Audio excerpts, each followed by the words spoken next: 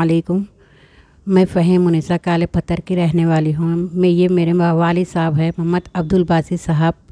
मैं हैंडीकैप हूँ, मेरे शोहर नहीं है, मेरे को मेरे को दो बच्चे हैं। मेरे वालिद भी हैंडीकैप है। और क्या बोलते सो मेरे बाबा को भी थायराइड बी पी है। तीन हज़ार, चार हज़ार ख़र्चा निकलता मेरे बाबा का। मेरे से गुजारे, गुजारा नहीं निकल रहा मेरे से। इसलिए अमजतुल्ला साहब के पास मदद के लिए आई। आप लोग वीडियो देख रहे तो मदद कीजिए।